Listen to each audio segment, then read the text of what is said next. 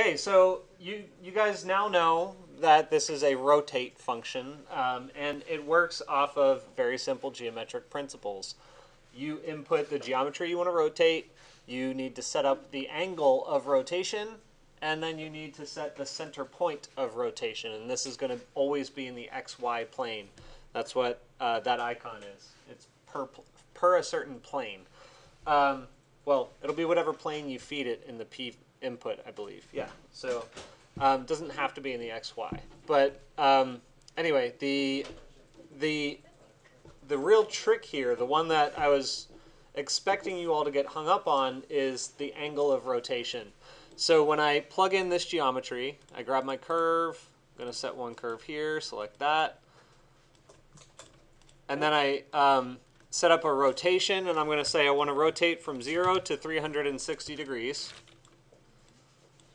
And then I can set a center point of rotation. And whether or not you actually set the center point of rotation, you can start to rotate around the world, um, the world center point or world origin, or you can find the centroid and rotate around that. And that's what I was hoping you would have done.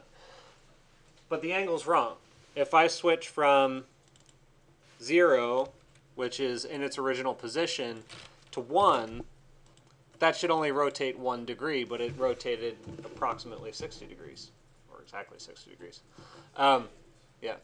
And that's because what it wants is radians, not degrees. So Grasshopper, being um, a computational modeler, does all the computation for you. You don't have to set up the math.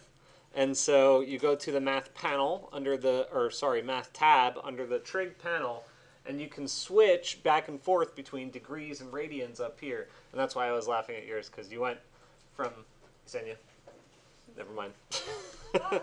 um, I was saying that's why I was laughing at yours because you went from degrees to radians back to degrees.